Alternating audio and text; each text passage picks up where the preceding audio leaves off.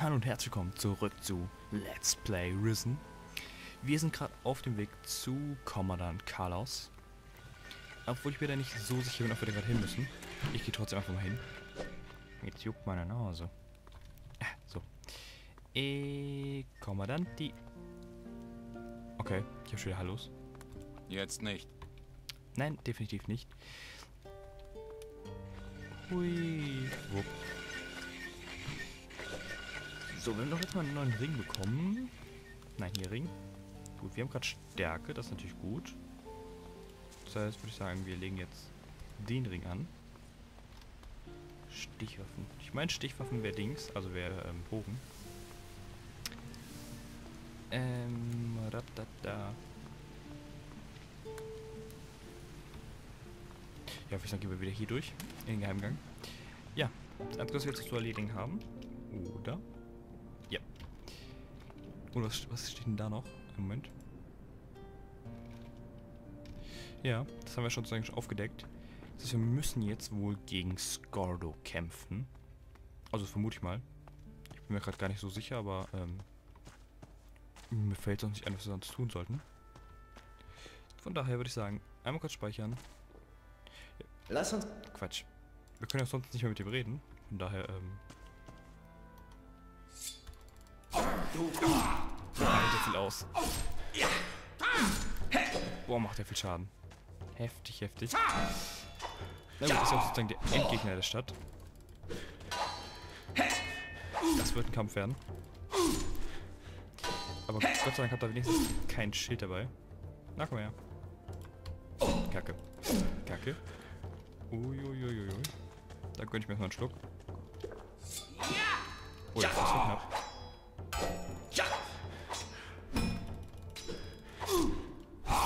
Oh, sehr schön. Treffer. Na, komm her.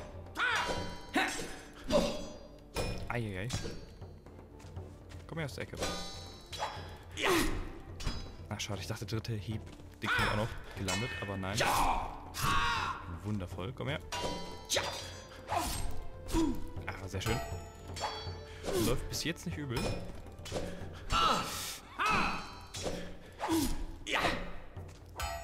Eieiei.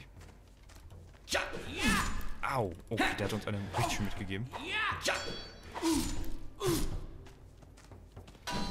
Ähm. Ich würde sagen, wir trinken einen Schluck, bevor wir jetzt drauf gehen. So, jetzt komm her. Nix da. Und hier, und mit der linken rechten und zack. Du bist fertig Eimer. Ja, komm, nur ein Schlag, nur ein Schlag.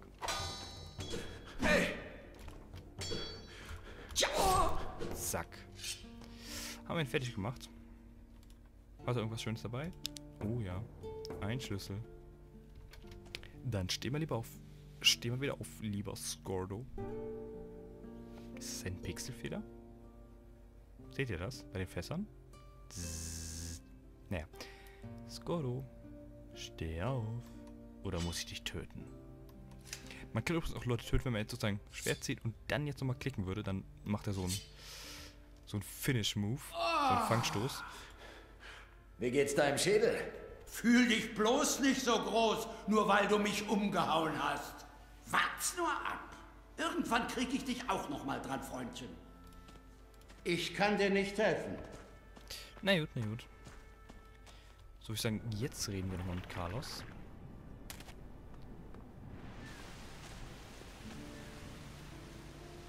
Weil sonst habe ich echt keinen Plan mehr.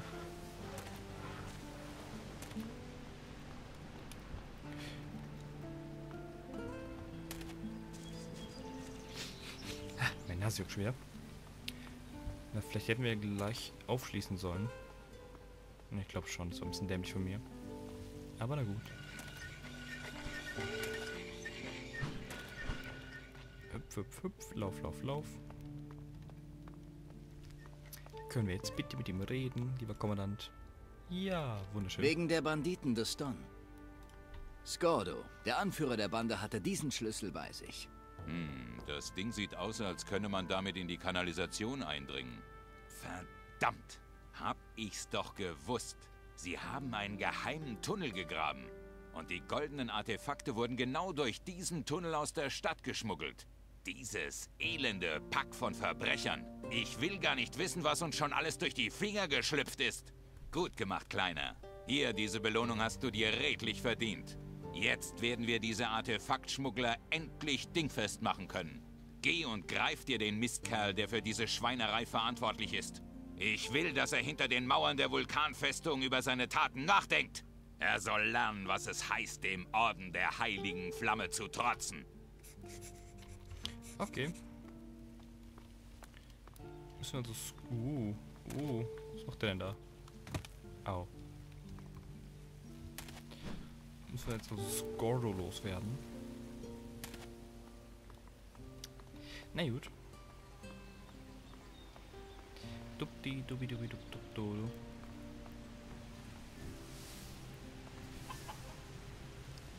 Hm, Und wieder reingehen durch den Geheimgang des Don.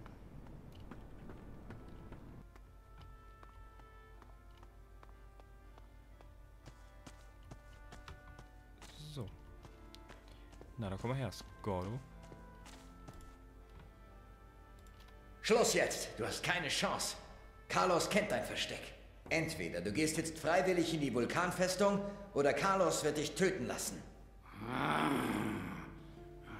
Schön. Ich gebe mich geschlagen und werde zur Vulkanfestung gehen.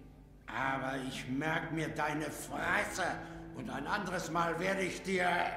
Ja, genau. Ein anderes Mal. Verschon mich damit. Ah, schon gut. Ich pack nur meinen Kram und dann geh ich. In Ordnung. Wir sehen uns in der Festung. Wunderbar, wunderbar. Hat auch das geklappt? So, ich würde sagen, wir haben jetzt den Schlüssel. Dann können wir aufschließen. Erstmal hier den Raum. Zack. Was gibt's denn hier Schönes? Gar nicht mal so viel.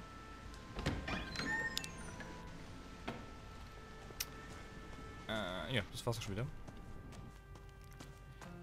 Aber wir können jetzt halt die Tür aufmachen in die Freiheit. Hui.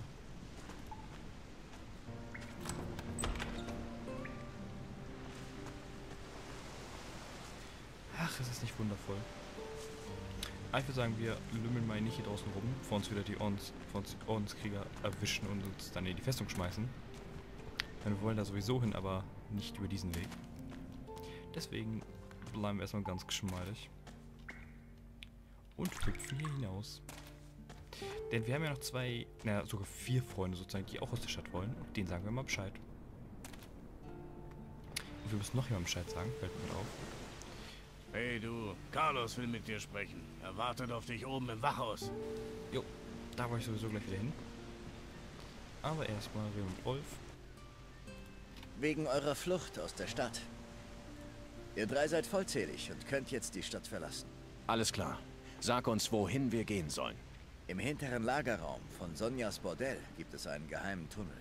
Der wird euch aus der Stadt führen. In Ordnung. Wir treffen uns dort in Sonjas Lagerraum. Dann zeigst du uns deinen Tunnel. Bis gleich. Geht klar. Und wir haben ein Level Up.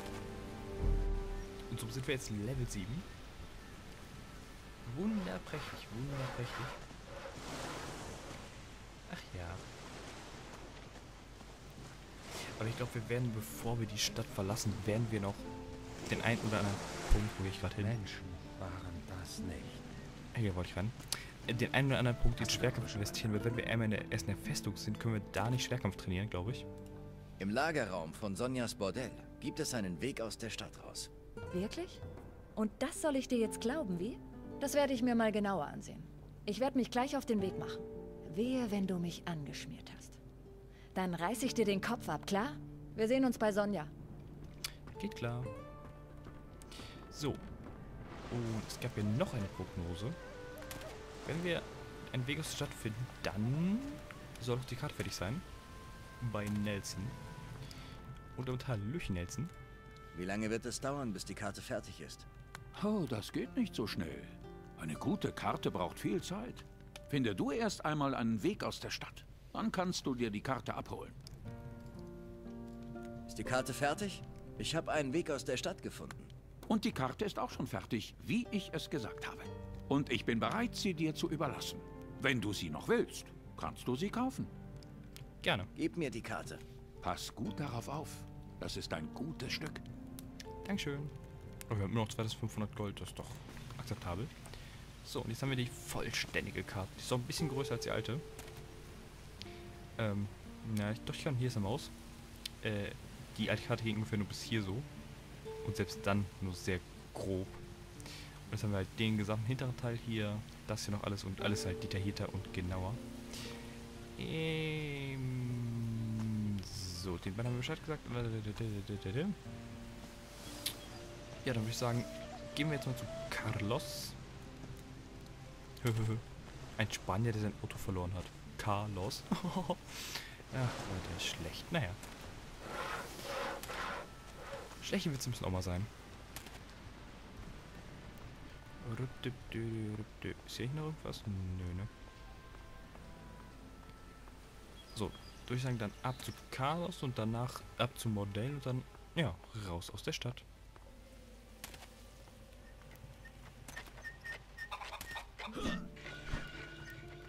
Und Philipp macht immer noch seine Übungen.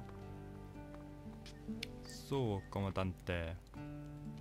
Ah, gut, dass du da bist. Sprich, wie sieht's aus? Ich habe da so einige Gerüchte gehört. Wegen der Banditen des Don. Der Anführer Scordo wird diese Stadt nicht mehr behelligen. Das sind die besten Neuigkeiten seit langem. Ich muss sagen, das hätte ich dir nicht zugetraut. Aber nun denn, du scheinst was ganz Besonderes zu sein. Du hast uns in dieser Stadt einen sehr großen Dienst erwiesen. Wenn ich etwas für dich tun kann, dann lass es mich wissen. Wie sieht's mit meiner Ausbildung in der Vulkanfestung aus? Ich denke, du bist jetzt soweit, junger Mann. Ich werde dir meine Empfehlung geben, wenn du es wünschst. Ähm, ich spreche mal ganz kurz. Ich habe mich Lass mich meine Ausbildung in der Vulkanfestung beginnen. Das werde ich tun, denn du hast nicht nur deine Loyalität unter Beweis gestellt. Auch Meister Belschwur hält große Stücke auf dich. Alle Achtung, das schaffen nicht viele. Nimm dieses Empfehlungsschreiben von mir. Du hast es dir verdient. Damit wird dich kein Ordenskrieger mehr außerhalb der Stadt behelligen. Geh damit rauf in die Vulkanfestung und lass dir alles weitere erklären. Man wird dich fragen, ob du den Weg des Magiers wählst oder doch lieber Ordenskrieger werden willst. Deine Wahl entscheidet über dein weiteres Schicksal. Wähle also weise. Nun denn, ich wünsche dir viel Glück. Dankeschön. So. Ja, wie gesagt. Uh. Autsch. Ähm. Ich möchte halt lieber Ordenskrieger werden. Aber ich glaube, ich werde die Save-Datei sozusagen, kurz bevor ich in der Entscheidung stehe, äh, abspeichern. Und, naja, wer da sozusagen sagen möchte, ähm, wenn er Risen halt auch hat, kann er mich halt anschreiben, ne, sozusagen, bla bla bla. Und dann kann ich ihm vielleicht die Save-Datei sozusagen schicken. Und dann kann er selbst entscheiden, ob er Magier oder Krieger werden will. Dann muss er halt das Ganze hier vorher machen. Wenn das jemand möchte. Ich möchte es nur so als Überlegung in den Raum stellen. Und ja, jetzt müssen wir da lang. So, kurz mal in Questlog gucken. Ja. Ja, wir haben nur noch eine einzige kleine Quest. Und die ist halt sozusagen jetzt noch nicht zu erfüllen. Die können wir halt erst machen, wenn, ähm, wenn wir aus der Stadt raus sind. Gut, was wir jetzt auch gleich sind. So, und jetzt, genau, jetzt, ich liebe diese Szene. Jetzt stehen einfach alle Leute rum und warten auf uns. So. Wegen eurer Flucht aus der Stadt. Der Weg nach draußen durch den Tunnel ist frei. Sehr gut. Wir sehen uns die Sache mal an. Eine Sache noch. Wenn wir erstmal draußen sind, werden wir unser Lager am Strand vor den Stadtmauern aufschlagen und uns ausruhen. Also wenn du drei gute Schatzsucher suchst, dann weißt du ja, wo du uns findest. Ich werde es mir merken. Gut, wir machen uns mal vom Acker. Bis später. Tschüsseli und hallo Betty. So, jetzt zeig mir mal deinen Tunnel aus der Stadt heraus. Der Weg aus der Stadt ist frei. Der Tunnel dort wird dich bis vor die Stadtmauern führen. Da soll noch mal jemand sagen, es gäbe nur noch Pfeifen in dieser Stadt. Du hast mir sehr geholfen, mein kleiner Held. Wenn ich endlich gefunden habe, was ich auf dieser Insel zu finden hoffe, dann werde ich mich dir erkenntlich zeigen. Ich werde mich jetzt erstmal am Strand vor der Stadt verstecken. Nur falls du mich suchen solltest. Bis später. Vielleicht. Komm in einem Stück wieder. Mach ich. Ja. Und damit hätten wir auch die Stadt jetzt abgeschlossen. Ups, hier lang. Ähm, das Einzige, was jetzt an der Stadt zu tun gibt, ist sozusagen noch die ganzen Schätzplünder, wo wir bis jetzt nicht rankamen. Das, heißt, das können wir halt später machen, wenn wir Schlösser knacken können. So. Und jetzt können wir uns hier frei bewegen auf der gesamten Insel. Ist das nicht wundervoll? Okay, haben wir, haben wir, haben wir. Düpp, düpp, düpp. Ein Nautilus. Ja. Tut mir jetzt immer leid, ich finde die Viecher total putzig. Aber, ähm, ne, EP und so weiter. Und außerdem bringen ja diese Schalen, die jetzt später noch ganz sinnvoll sind. Was hier alles so angespült wird. Super. Fum.